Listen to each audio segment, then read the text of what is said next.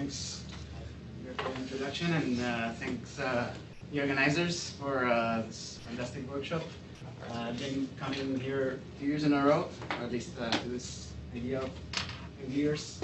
Uh, it's nice to be back also in this interesting institute. So, uh, you know, some people have been uh, obsessed uh, with uh, classifying uh, topological phases, like our chairman here. Um, I am obsessed with quantization and finding uh, quantized responses in topological matter because if you think about it, there are experimentally not so many quantized observables that we have observed as a community.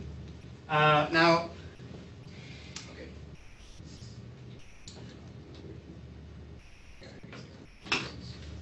So yeah, of course we know about the quantum Hall uh, conductivity, the quantization in linear response of, of the transverse uh, conductivity, um, which uh, you know is a stereotypical example of quantization of topological states.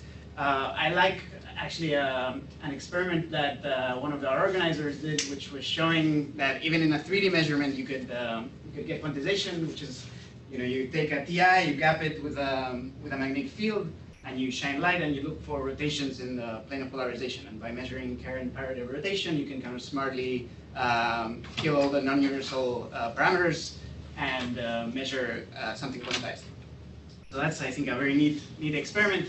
But um, recently, also with uh, some people in the audience, uh, like Fernando and, uh, well, Yang and, and uh, Minghai have also been studying this kind of things, also Inti uh, we kind of push the barrier to uh, nonlinear effects as well.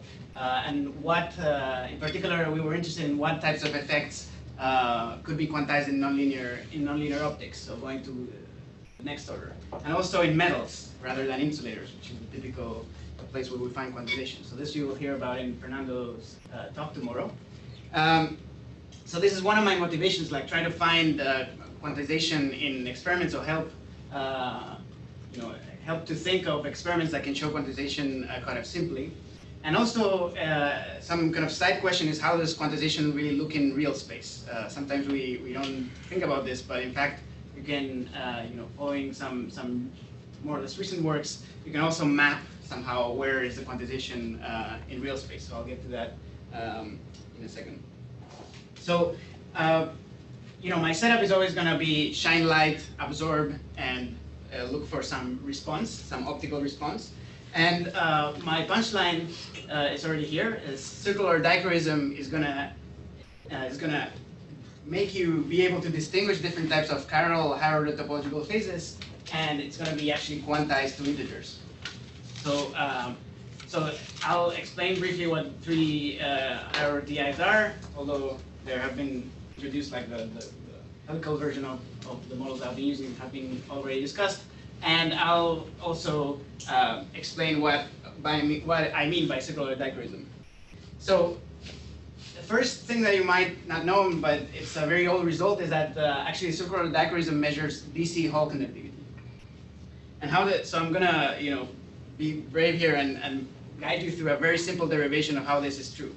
So take the absorbed power. So if you look into an ENM uh, book, you'll see that uh, it's just the real part of this product of uh, J times E, J star times E. So J is the current, E is the electric field, P is the power absorbed, A is the area of your system. Now, go assume linear response and introduce this here, it's trivially this. Now, if you think of circularly polarized light, your electric field looks something like this. It has this funny plus minus I, into I omega t. Now introduce this, uh, really very simple. And you get uh, the real part of the longitudinal conductivity plus minus the Hall conductivity, right? So now you already see that you can kind of, uh, by subtracting left and right polarizations, you can already isolate the, the sigma xy, which is what I'm, I'm going to do. Now I'm going to use the uh, property of the English language, which is that power absorbed is the same as absorbed power, the commutativity of the English language. And now I'm going to say that power absorbed is also the energy that you absorb uh, times the number of carriers that are uh, being excited due to that energy. So that's h bar omega times the, the excitation rate, gamma. And this depends on the polarization in general. Now, uh, right, so now I'm going to do what I was promising, just subtract left and right and integrate over frequencies. Okay? So this is what this delta gamma that I'm going to plot many times in this talk is going to be. So just left minus right um, absorption rates uh, integrated over omega. Now, if you do this just by the formula that's up there, uh, you'll find that you exactly isolate sigma xy, the imaginary part of sigma xy, over omega. And now you know that uh, for analytic functions, basically uh, the real and imaginary parts are related by Kramers-Kronig. So this immediately gives you the real part of the Hall conductivity. So just by measuring absorption, you can measure the DC Hall conductivity provided you integrate over all frequencies. Okay, so this is kind of already well known. It was known by uh, Vernon Stern, uh, and Stern. Stern is not the Stern know. Um, and also Souza and Vanderbilt kind of pointed out in, in the model language. Now, if you have a 2D insulator, this immediately implies that this is quantized to the Chern number of the field band or some of the field bands. Okay? And in fact, you can uh, even do this experiment and has been done in, in uh, cold atoms uh, by this uh, cold atomic realizations of Chern insulators. They have uh, driven uh, some, some collection of cold atoms into a Chern insulator state and then further driven the system with circularly polarized light, which means just shaking in their case, and measure this quantization. Now the thing is that if you um, if you actually do this uh, driving to a whole system, uh, whole finite system, you would actually get zero. So actually the total circular dichroism is zero in finite samples. So let me prove this to you in two, two different ways. One is actually related, so you can see, you can see this either in real space or in uh, energy space. So let's, let's see uh, in uh, real space how this works. So you can actually uh, compute something that's called the local Chern marker which is something that is simply the Fourier transform of the Berry curvature. You Fourier transform the, the Berry curvature to real space, and you'll get this formula which depends on the commutator of, of Qx and Py. P is just a projector towards the ground state of your system, so you're projecting to the field state, and Q is 1 minus P. So a, a commutator over a finite Hilbert space is 0, so that's mathematically why this is 0. And if you plot it, if you plot it like a space result, you just choose some localized basis, and plot this for your favorite translator, you'll get the following uh, picture where um, quantization uh, happens really in the bulk. So you see that here I chose a, to fill the band with Chern number minus one. So the bulk is really nicely quantized to minus one. So when I average over the bulk area, I would get minus one. But the edge states contribute exactly, uh, if I sum over them, uh, they contribute exactly with the opposite sign, and, uh, and they exactly cancel the bulk. So this is why you get zero. So since the since the quantity I was talking about is exactly related to this uh, local Chern marker, um, then you will get zero if you average over the whole sample. If you just probe the bulk of your system, you get quantization. And you'll see why I insist on this uh, later on. Now, if you want to see it in real space, you can actually, uh, sorry, in energy space, you can actually calculate this uh, absorption by looking at which transitions contribute to it. So you take the Fermi-Golden rule and you uh, calculate matrix elements and you separate the ones that connect bulk to bulk states, edge to bulk, or edge to edge. And you'll see that, that the edge to edge, uh, uh, kind of as you increase your system size, exactly go to one, the bulk bulk exactly go to minus one, and the edge to bulk kind of go to zero, and they die out. So the, the, the edge to edge and the bulk to bulk exactly cancel in the um, large system large but finite. Okay, so this is kind of the, the, the energy uh, uh, the energy uh, resolved version of this of this uh, property of, of this um, dichroism. And now I want to use this to somehow filter out um, filter out one of these contributions to to um, to distinguish chiral higher order topological states. And later on, we'll ask the question of how this um, topological content is actually distributed in real space. So here's my one slide on, on higher topology. So uh, we, so okay, so higher order, order, topological states, you know, you can define in many dimensions, but we're, we're thinking about 3D and also time broken.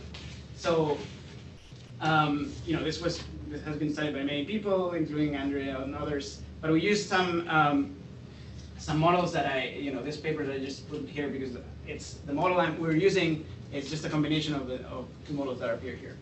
So what is this? What are these models? uh, which uh, kind of uh, interpolate between different types of, of states. So you have a strong topological insulator if you want, and then you gap it out in two ways, either by a Zeeman coupling, so this just depending on where it points, it'll gap different surfaces.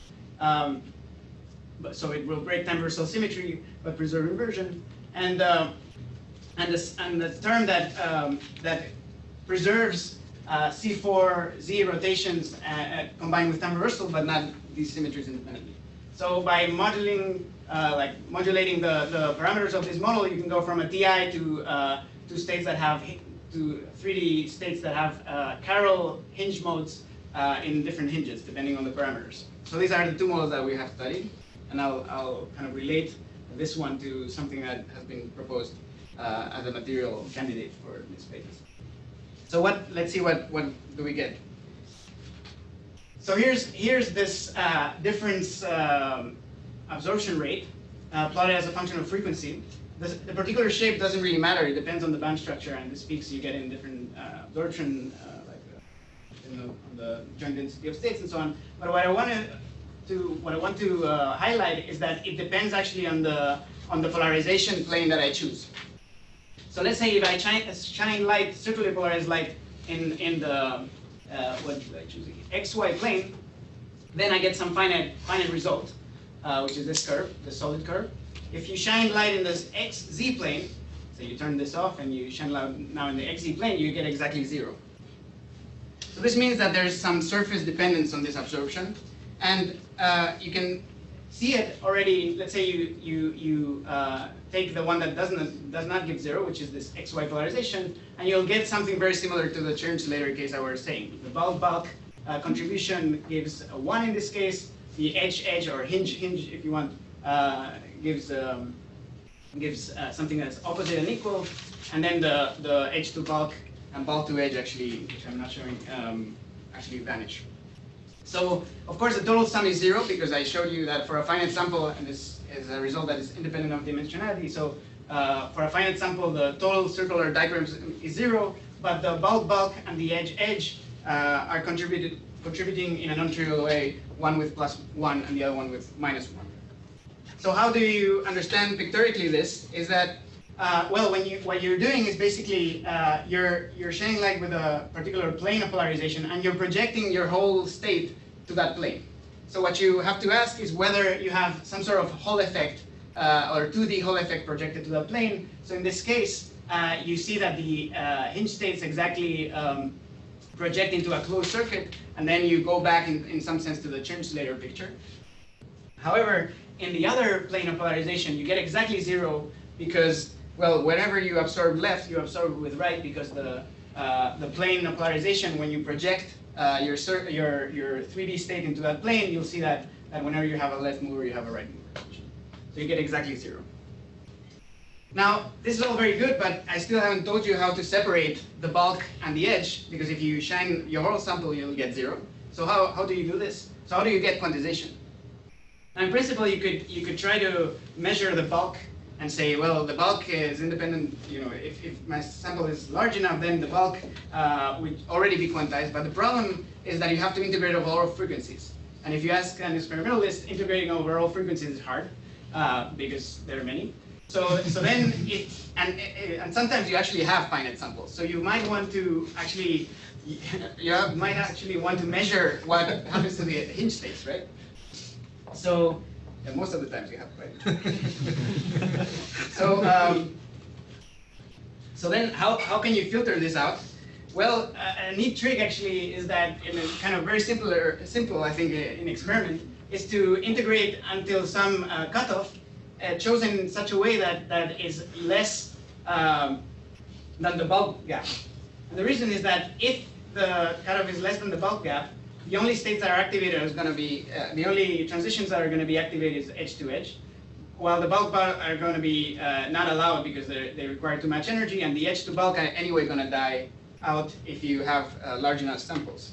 So if you if you calculate this, so here's here's what I'm showing. I'm showing now this um, delta gamma, this difference uh, in absorption, integrated up to a frequency omega max. So here's the frequency. Um, you'll see that more or less you have one uh, or like you know, you have a, a jump at the beginning and then more or less a flat um, line until, uh, of course, this is kind of, uh, you know, um, affected by finite size effects, but, but in principle, for larger enough samples, you'll get a jump until, until one, and then uh, it will be more or less a plateau until you hit the energy of the gap, and then something non-universal will happen and eventually die out to zero as you, as you go to higher and higher frequencies.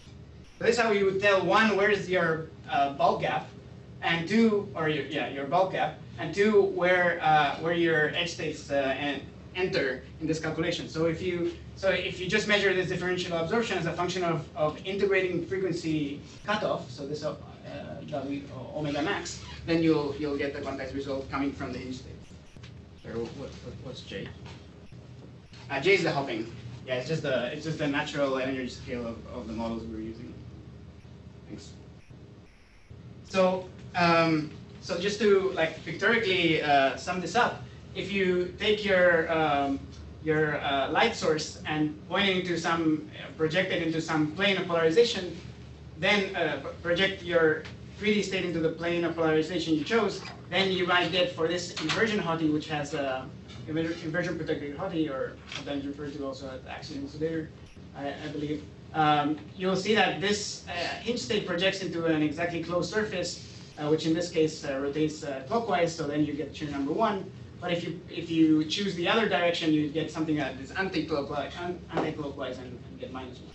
However, for the for the roto inversion hot, it is C4Z uh, inversion HOTI, um, this will uh, actually give either one or zero, as I was telling you before. So if in, in one case you would get a, a, a you know, a, a, projection which is exactly uh, similar to a, to um, to uh, later, well, well, in the other surface, another planar polarization, you'll get something that does not close. So it, now, what about experiments, real materials? Do we have do we have some somewhere to look for these things? Uh, there was a recent nice paper by Xi Dai's group um, in this in this unpronounceable compound, to me, uh, which is antiferromagnetic in one phase. And you have uh, a bulk gap. So these are the surface states that are gapped because of this anti-ferromagnetic uh, state. And you have the hinge states uh, coming along here, which are chiral because it breaks time-reversal symmetry. And in principle, it's like the um, time-reversal breaking cousin of bismuth. So we were seeing this uh, this morning how you have you can have uh, helical edge states in bismuth, but in, in this compound, this, these things are actually parallel. So if you would shine uh, circularly polarized light into this surface, and in principle this can be grown, um, then you would, you would see, you would exactly predict a quantized response uh, due to the projection of this hinge states um, that I was telling you about. Now, uh, this kind of uh, motivated us to ask as well, what, what was the, like how does really, you know, statistical is related to this local Chern marker, how does this actually play out in a, in a 3D sample? And, and what can you learn about it? So an expectation that people that know about TIs know is that uh, whenever you gap a surface of a TI, you basically get a half uh, E square over H conductance due to the gapped uh, Dirac states. So this was known uh, long ago, and you can do a very simple calculation. Basically, you can do a layer resolved calculation of the Chern number. This was already done by in this paper by by uh, Joel Moore and, and uh, Vanderbilt and, and, and Andrew Essin. And basically, what you do is that uh, you calculate this local Chern num uh, local Chern marker as a function of uh, the height, this z, and you see that one edge state, depending on how you gap it, but one edge state um, contributes with plus one half or minus one half if you choose the opposite sign and the other one uh, does the same. So, so basically, at each surface you have a half quantized conductance uh, in units of E squared or H. Now, this, this is a universal, a universal property of topological insulators, but, but I just told you that, that in a Chern insulator, actually this bulk quantization gets exactly quantized, exactly compensated by the, by the edge states. So how does this play out in a, in a higher order topological insulator?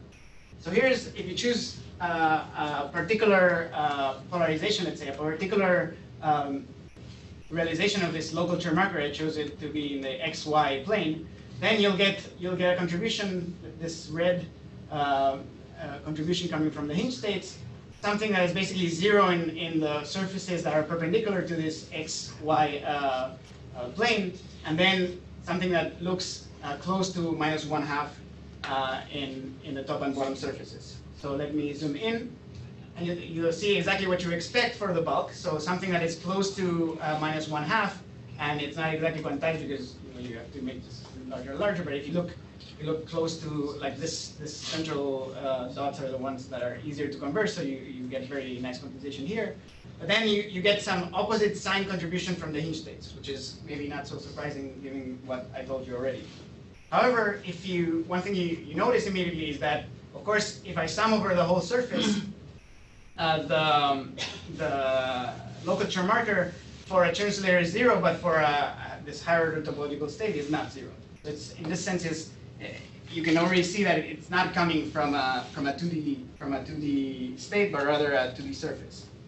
And moreover, the, this average, contrary to what maybe one could expect, is that uh, you know unlike the bulk, which is always quantized to minus one half or plus one half, um, the average over the, over the surface is actually non-universal.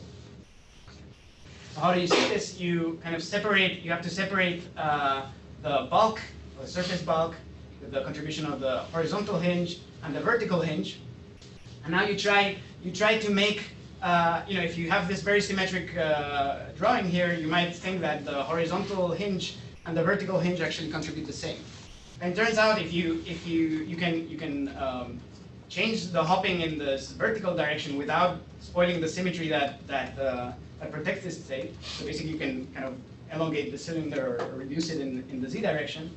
And now I'm seeing how the, the weight of the local Chern marker between the hinges uh, change, changes.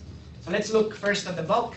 The bulk is um, the average over the bulk, which is a bit of a thicker, um, thicker uh, surface because uh, you know the, the penetration depth of the of the surface stays.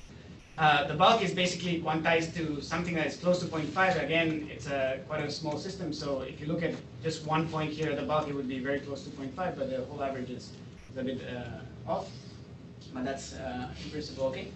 Uh, now, the different symbols, you see that the different symbols basically fall on top, of each, on top of each other, and they represent the asymmetry between the hoppings in the vertical direction and the horizontal direction. But now if you look at um, the hinge uh, modes, the hinges actually, uh, if you get a very symmetric, uh, a, a totally symmetric uh, hoppings in the, in the, vertical and the horizontal directions, then this uh, contribution of the hinges goes to the same value. But as you start deviating from this very symmetric limit, uh, which are these other uh, crosses and, and, dots, then they start deviating. And so this is telling you that if you sum over the whole surface, which is this extra extra line here, you actually can get whatever you want, essentially. So this, this is telling you that this, this, uh, this uh, local Chern marker of a single surface is actually non-universal. The bulk of the surface is universal, but if you add the hinges, it's actually not. So that distinguishes basically from a Chern insulator. Um, now, uh, yeah, this is my, my final slide. I'm just going to sum up. I told you that basically quantized, this, the quantized circular dichroism distinguishes different types of higher topological states uh, chiral topological states, basically by measuring the, the projection of the Hall conductivity to the plane of polarization, and um, the average of the local Chern marker, or how the, this, um, this uh, local uh, Chern marker is distributed over the 3D space, actually distinguishes the surface of a, of a, of a, well, of a higher order topological insulator from a, from a trivial uh, insulator, even though uh, you might think that you can deform one into, into another uh, just by thinking of a, of a, sphere, for example. But okay, so this, this is um, uh, my final slide, and uh, thank you for your attention.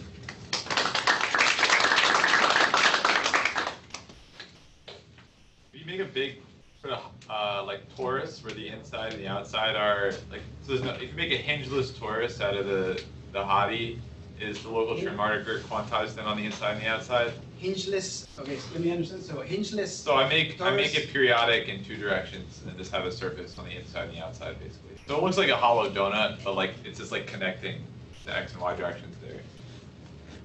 Like there's a top and a bottom and the, Ah. the, it's infinite. Okay. And periodic, let's say, yeah. Mhm. And what's the question? is the local Chern marker quantized on the top and the bottom then if you get rid of the, if you kill the hinges? Uh,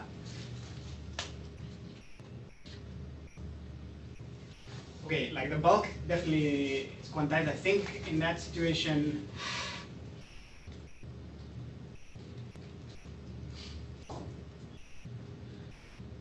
um, yeah, the, the I think the claim is that basically the, the you know the symmetry doesn't impose that the horizontal and the vertical hinges contribute the same, but Okay. but the horizontals all the horizontals contribute the same because they get mapped into to themselves. So, so I would say in that case it would be quantized. So you get a half and a, half or half minus half something? Yeah, yeah. Okay. So could you go back to the slide where you have the argument for why the total circular dichroism vanishes?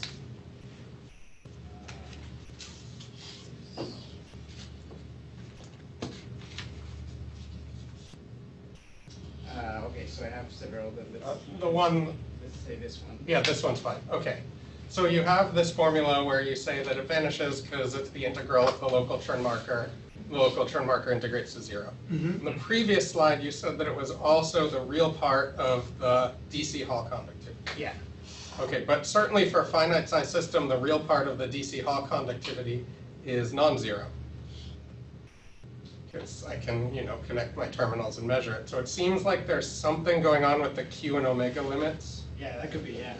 Um, I mean, it's different, I mean, as you know, like, measuring transport and measuring optics is not the same thing, right? As- as- So is the, is the sigma Hall uh, omega equals zero that enters into this formula for delta gamma at Q equals zero or at finite Q?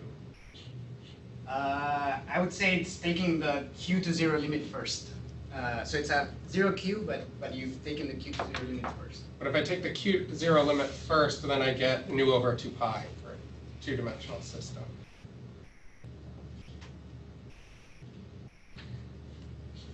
Is this not just because there's no magnetic field? I mean, sigma xy should be zero. No, but I I mean, you're broken, you're broken diversal, so. But I mean, if you, if you're thinking of, of, if you're measuring in, in contacts, let's say, you're measuring the edges. You're Well, I measuring can do it, I could do it with Laughlin flux pumping as well, it's still,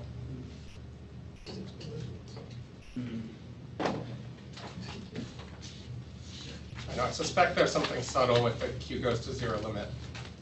Yeah, I would have to think about what is exactly going on. Q goes to zero, it's R goes to infinity, so Yeah. means you make a. Yeah. So the, if there's something subtle, so it will be there. Can't define a sample. I mean, mathematically, it's just like, like local Chern marker mathematically is very easy to prove that. um, Uh, it has to go to zero because it's, uh. No, that part, I, Yeah, yeah, yeah. that's totally clear. The thing that's not Then clear the- is yeah, why, yeah. in a finite system, the integral of the local Chern marker is the Hall conductivity. I think it's probably something, yeah, it's, it's tricky to take the thermodynamic limit then, I guess.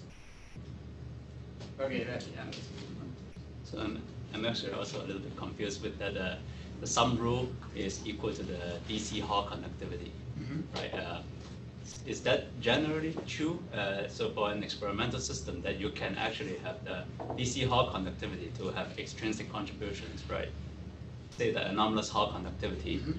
that has skew scattering, side jump, and that type of stuff. I think this, this argument is independent of what enters, what enters the, the Hall conductivity. Because it's just a, it's just a matter of how much power is absorbed. And then, you know, if you have impurity states, they can contribute. Yeah, yeah, that's, so that's the thing that I'm actually a little bit confused because the DC part of the anomalous Hall conductivity can depend on whether you put scattering in it or not. But you know, when you sum up over all the frequencies, it seems to me that that, that part, the sum rule part, is just related to how many, you know, uh, uh, the density of spins in the system. Right, so there's a you know well-known optical sum rule that when you integrate over all frequency, that's only dependent on the number of you know, the density of atoms in the system. But that's longitudinal part. Yeah, so, uh, so if you, yeah, take into account, you know, the, the, the off-diagonal part, that is it actually related to the number of spins or number of dipole moments? I, I don't think the off-diagonal part is related. I mean, it's, I think the off-diagonal part just measures whatever Hall conductivity you have, including, uh, So the integral would then depend on how dirty the system is, right? So it depend on whether they, Because the DC part of the Hall Yeah. conductivity depends on whether you have skew scattering or not, then the corresponding integral will just dependent on that, not related. Yeah, but it's the integral of the imaginary part of the sigma x y. So I, maybe I, I have to understand better your point, but I think, uh, as long, I mean, the, the, the proof is quite general, I mean, you don't have, don't assume anything about scattering. I guess, I guess one thing that assumes, uh, okay, that maybe implicitly I assume is that you have, uh, translational invariance, because, uh, you know, this area factor there in, like in general, this, this, uh, this formula actually, you have to integrate over, uh, over space. So maybe, maybe that's where the subtlety comes from.